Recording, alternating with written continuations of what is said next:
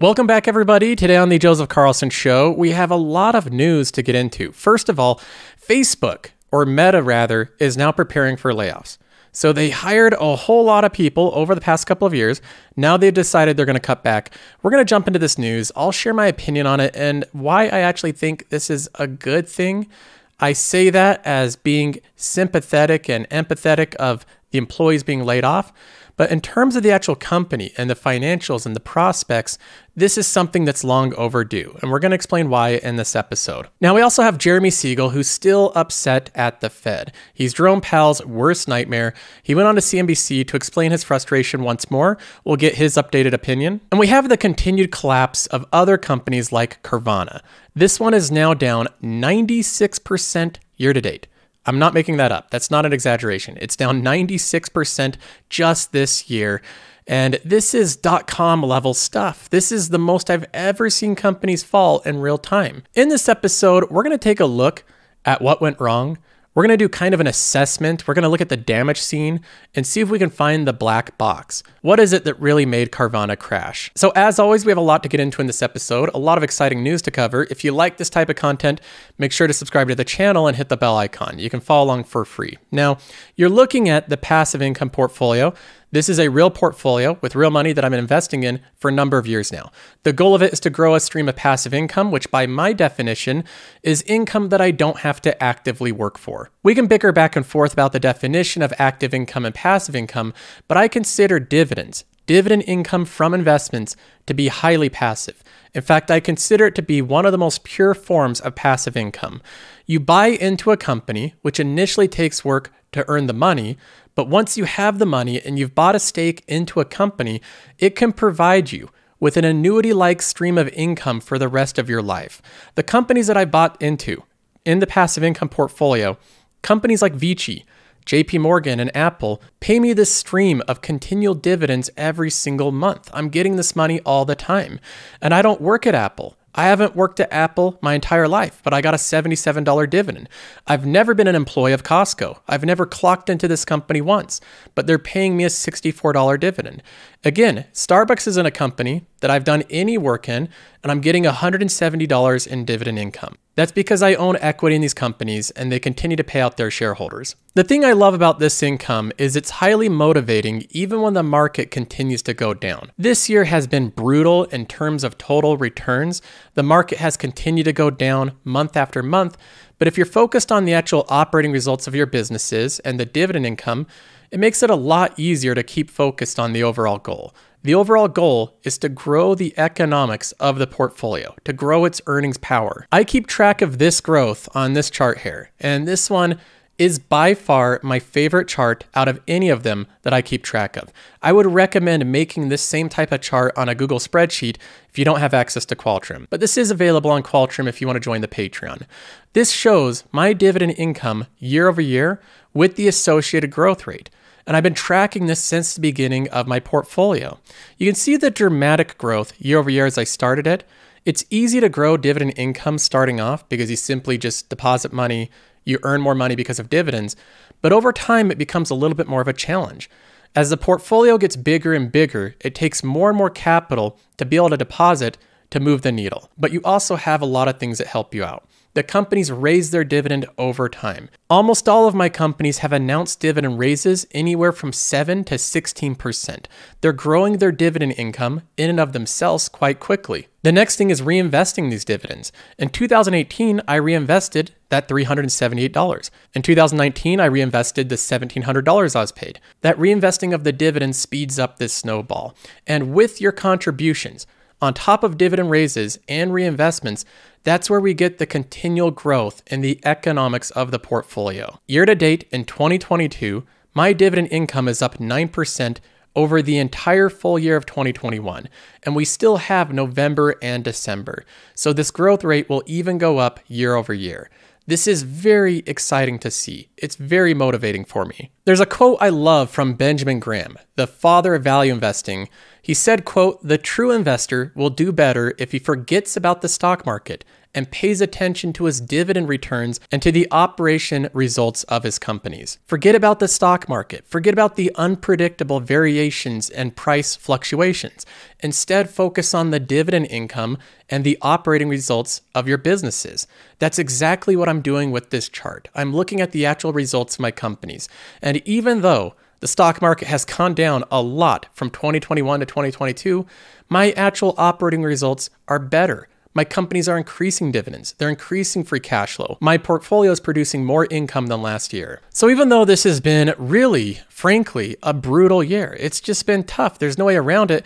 I still remain highly motivated. I feel like I'm getting closer to my goal because the amount of income that this is producing continues to go up. So I'm going to continue building up this portfolio as much as possible. I do have a goal to one day have this portfolio generate enough passive income that it meaningfully subsidizes my cost of living or completely replaces it, meaning that I can literally live completely off of the passive income.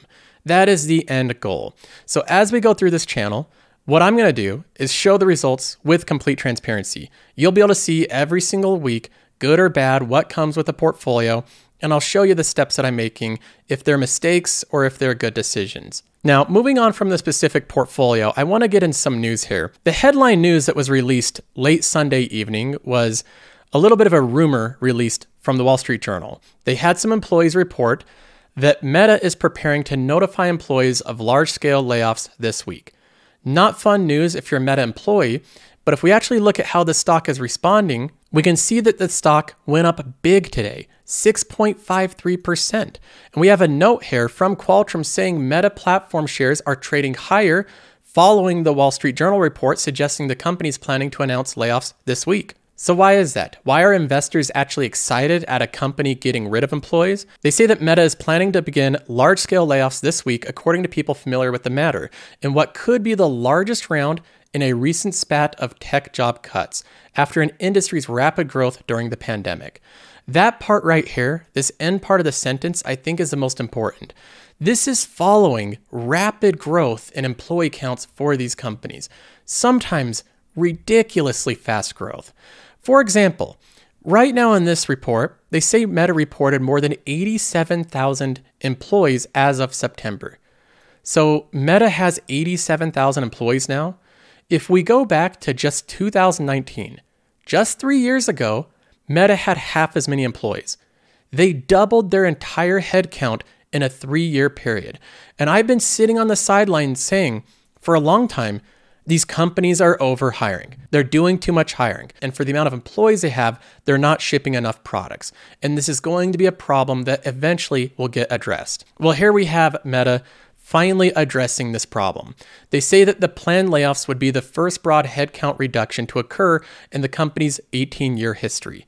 So, for the first time ever, this company's finally going to be laying off employees. Now, again, I want to stress that I'm not one that gets excited to see employees get fired from a company. That is not something that I like seeing. And in the case of Meta or Twitter, if you're one of these employees getting laid off, I really do hope that you find work quickly. But from the perspective of an investor, which I am, I have to look at this objectively. I think that companies like Meta and Amazon and Google and Microsoft have simply been hiring employees too quickly, and it's becoming a real expense for the shareholder. Let's go ahead and take a look at an example of this for Meta. On Qualtrim Insights here, we have the free cash flow chart. We've all seen this before. It's very simple. It shows the amount of free cash flow quarter over quarter. Free cash flow is calculated by taking the cash flow from operations and then subtracting the capital expenditures. And you can see that Meta has done a good job historically growing its free cash flow, aside for the last year. It's been starting to go down in the past year. But overall, the company does generate growing free cash flows. Now, what I've done is I've added in a new graph here. We can toggle the chart right here, and it shows a new bar. This purple bar here is the stock-based compensation that the company's paying to employees. So now we can see both the free cash flow quarter by quarter, and then in addition to that, we can see how much they're paying in stock-based compensation what we can see is that a lot of the free cash flow that Meta actually generates goes to the employees. Maybe around uh, 25%, maybe 30% of it is going to the employees. And the more concerning thing is, if we look back in 2018, the actual cost of the employee stock based compensation was $1 billion per quarter. So $4 billion per year. That was the cost of dilution for paying these employees. When we fast forward to the most recent quarter, Meta paid $3 billion in stock based compensation in one quarter. So, in one quarter, they paid as much stock based compensation as they did for three quarters in 2019. So, Meta's employee cost, the stock based compensation expense for employees, is eating up a greater and greater portion of the company's free cash flows. And we can see the problems converging all at once. The stock based compensation expense is growing over time as the cash flows are starting to go down. In combination, this isn't leaving a lot of money for the shareholders. But the truth is, this problem of too many employees costing companies too much is a solvable problem. It's fixable, and it's fixable through layoffs. Exactly what Meta's doing. We don't know how many employees Meta's going to be laying off. They're going to be announcing that later this week, but my assumption, my prediction is it's going to be a lot. I think it will be multiple thousands, if not above 10,000 employees. We'll see. Maybe they'll start with a smaller amount and they'll try to scale up the amount of layoffs later, but my prediction is they can get rid of a lot of employees without really hampering the operations of the company. Now, Meta is not the only company that I think will be doing layoffs soon. I think this is going to become more of a common theme. There's some companies that I think were responsible with the amount of employees that they hired over the past three years. For example, from 2019 to current day, Apple only increased their employee count by 20%, compared to Meta's 100% increase. So we look at Apple right here, and we look at their free cash flows, and we compare that against their stock based compensation expense. Employees really aren't that big of an expense. 2021, they did $93 billion in free cash flows and they only paid $8 billion in stock based compensation. So even though that's a big number, Apple, comparatively speaking, is running a very efficient business. They generate a lot of free cash flow compared to their employee expense. And not every company's like this. Most of them don't run as efficiently as Apple. We can take Google, for example. This is one of the companies that I've been scratching my head wondering why they're hiring so many employees. Last quarter, they hired 13,000 employees. That is an enormous amount. Year over year, they increase the employee count by 36%. And you can see the effect all these additional employees have on stock based compensation and dilution. Over the past five years, the stock based compensation expense for Google has grown at a 22% CAGR. That's actually a faster growth rate than their overall free cash flow. So they are growing their expenses faster than their free cash flows. And now it's gotten to the point where their employee expense makes up a third of their total free cash flow. For example, last quarter, Google had $16 billion in free cash flow and $5 billion in stock based compensation. This is an incredible amount of stock based compensation that's eating up a lot of these free cash flows, and that leaves a lot less money for the investor. I think there's a very high chance that we'll see similar layoffs with Google in time. I think similar to Meta right now, Google overhired and they're going to be cutting back. The other example we could look at is Amazon. They likewise increased their workforce by over double since 2019. If we look at the stock based compensation of this company, you can see the clear trend there. It's going up over time at a very rapid rate while their cash flows go into the negative. Last quarter, they had minus $5 billion in free cash flow, and their stock based compensation was a record high $5.5 billion. That's for one quarter not for the full year. This is problematic for Amazon shareholders. They have cash flows going negative and stock based compensation going up. Until these companies really solve this problem, we're going to continue to see them trade down. Amazon's down 47% because investors are not happy with the financials. Meta's down an astounding 73% this year, with investors likewise not happy with the financials and the direction of the whole metaverse bet. Investors are very concerned about this company. Even Google, with their decelerating growth in their business and their rising expenses, is down 40% year to date. That's a staggering amount. Investors are signaling that they're clearly not happy with the financial performance of Google recently. While on the inverse side, we have Apple, exercising good cost control, good discipline with their hiring, and only increasing their workforce by 20%. This company hasn't sold off nearly to the extent of these other big tech companies.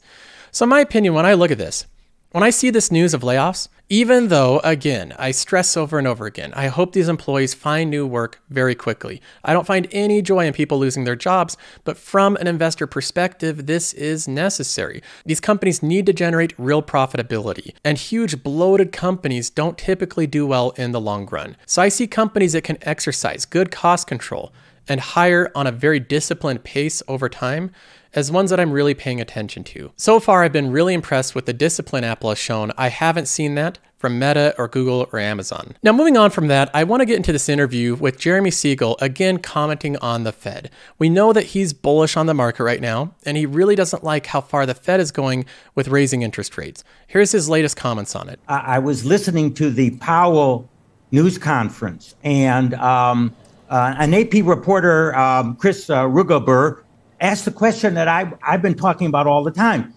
he, he asked Powell, he said, you know, there, there's two housing indexes. And I'm talking about this because we are going to get the CPI in a couple of days.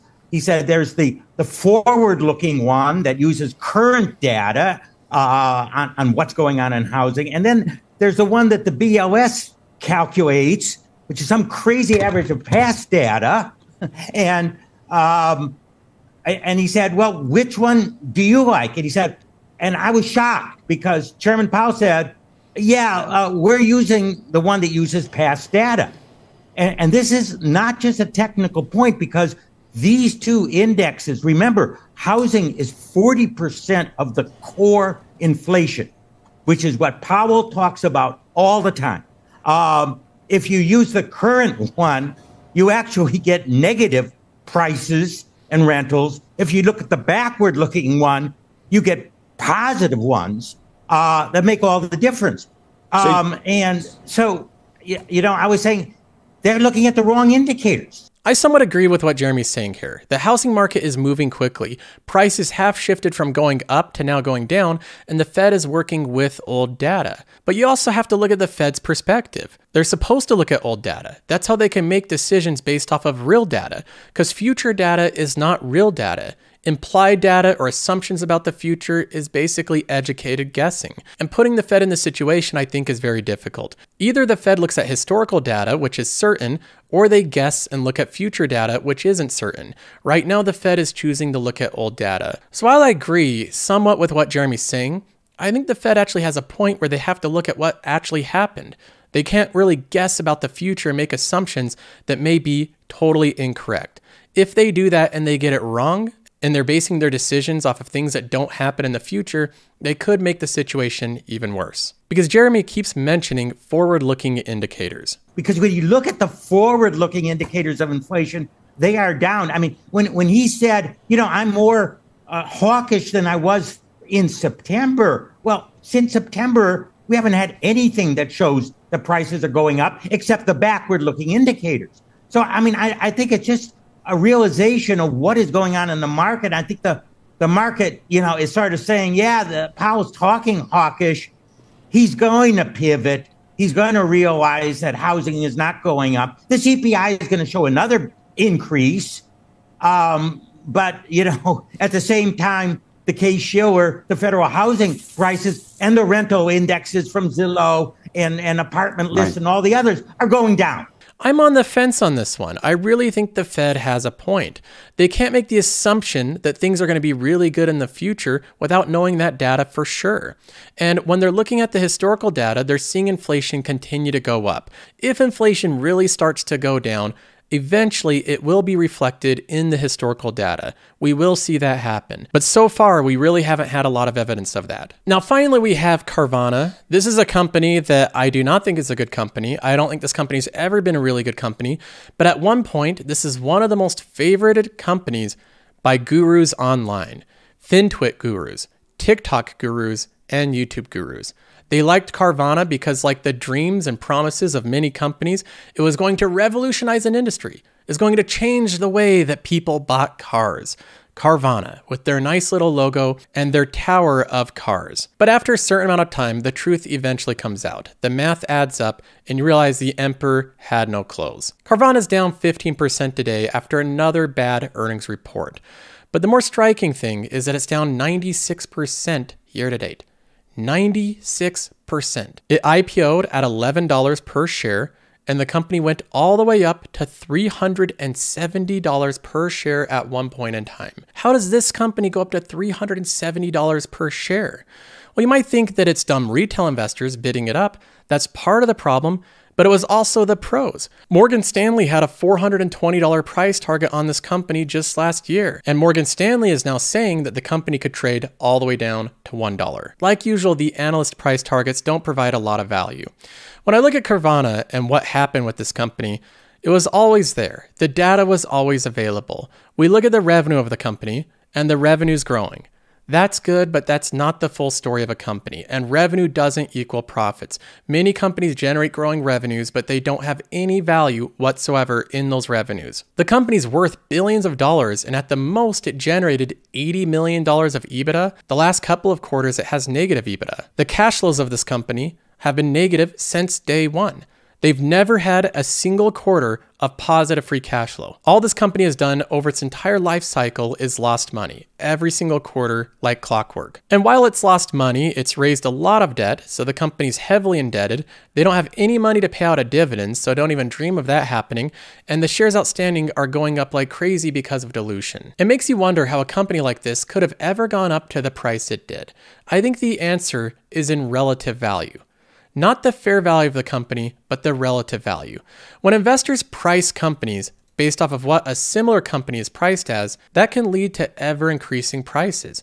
Carvana is expensive, but it's a little bit cheaper than Opendoor. It's a little bit cheaper than Snapchat. It's a little bit cheaper than this company or that company. So it's not too expensive, relatively speaking. That's the problem right there, relatively speaking.